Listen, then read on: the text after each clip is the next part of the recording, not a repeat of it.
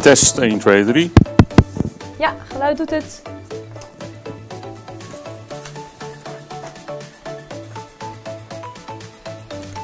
Dan gaan we beginnen in 3, 2, 1. Hoe weet je waar de wolken heen gaan? Wolken zijn heel licht en zweven eigenlijk in de lucht.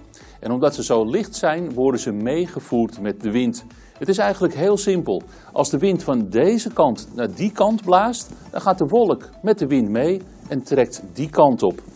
Het is wel belangrijk om te weten dat de wind niet overal uit dezelfde richtingen waait.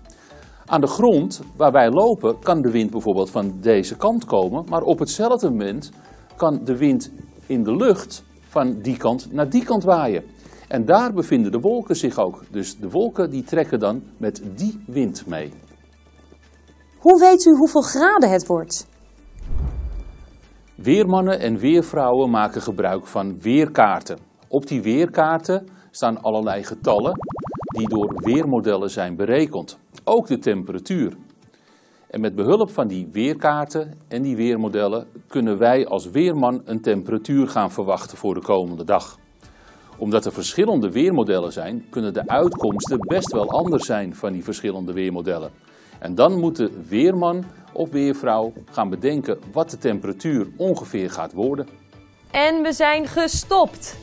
Nou, dat ging hartstikke goed. Ja, ik vond het ook lekker gaan. Nou, staat hij erop? Mag ik met je mee? Zeker. Heeft jouw klas ook vragen voor de weermannen van Weerplaza? Laat het dan vooral even weten in een reactie onder deze video. En mis geen enkele video door je te abonneren via deze knop.